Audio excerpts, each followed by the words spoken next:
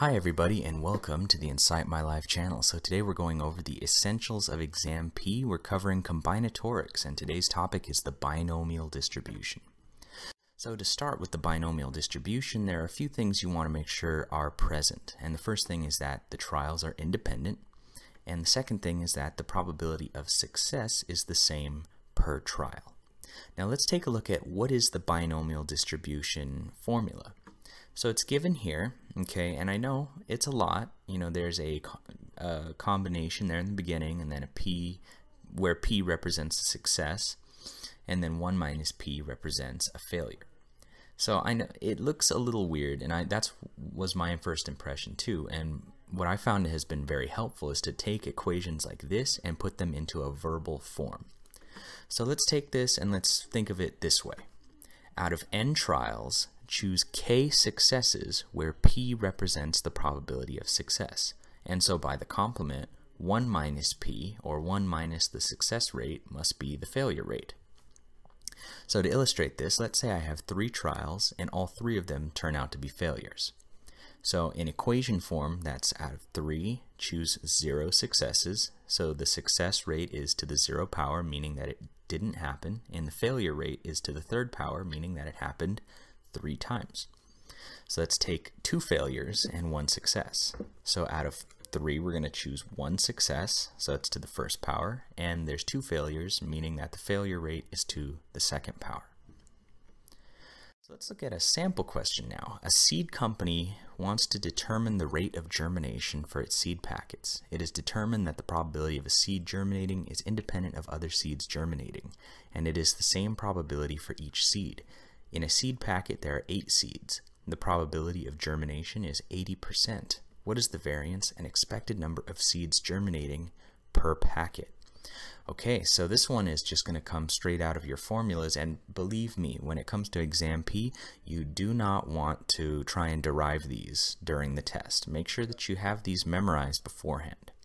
So for the expected value, uh, oh, where x is our number of germinating seeds, but the expected value of x is the number of trials times the success rate. So NP. So 8 seeds times 0.8 gives us about 6.4 seeds that germinate. Now the variance is NPQ, which is the trials, so 8 seeds, success rate, and the failure rate. So that's 8 times 0.8 times 0.2. So how did I get 0.2? that came from the complement. So think of the success rate being 80%, so the complement must be 100 minus 80, which would be 20% in decimal form, is 0.2. Now let's take a look at an SOA sample question.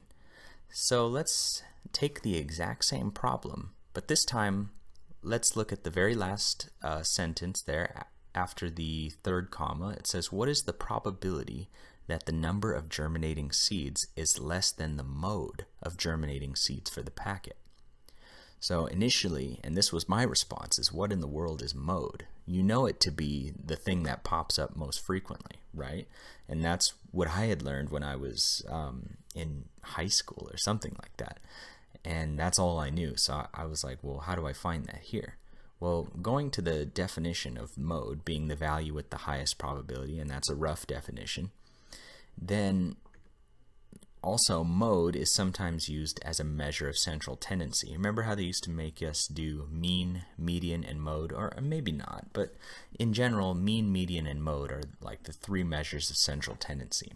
So like I was saying though, mode is the one with the highest probability, and um, it is very close to the mean. So what that means is that whatever our mean is, our mode is going to be maybe an integer above or below it. So earlier we established that the mean is 6.4. So that means that our mode is either going to be a 7 or a 6. So, and you can also try a 5, but in general it's either going to be just rounded up or down. So 6, the probability of that, putting in directly into our formula is about 0.29. And if we do the probability of 7, then it's 0.33. So we can see that our mode is actually 7. Now the question said, what is the probability that the number of germinating seeds is less than the mode, so less than 7? Now, are we going to have to count up all the probabilities below 7? No, actually, we can save ourselves a little work by doing the complement. So finding the probability that the x is greater than or equal to 7, and then just taking it off of 1. So the probability of it being 8 is 0.1677, so the probability of it being greater than or equal to 7 would be the adding up the probability of 7 and 8 together. So you can see the probability of 7 there was 0.33, and what we just found for 8 is 0.16. So putting those together, you get roughly 50%. So we're trying to find less than 7 though, so we take the complement of this, which is 1 less than what we just found, and our answer comes out to be uh, roughly 49%. So anyway guys, thank you so much for watching please like and subscribe and leave a little comment if you'd like and I just I love your feedback it, it, makes me very happy to know that I'm helping you guys in your in your studying and your progress and it just it makes me feel very good. So uh, feel free to leave a comment um, and of course um, just the good feedback I feed off of it guys. So thanks. Thanks for watching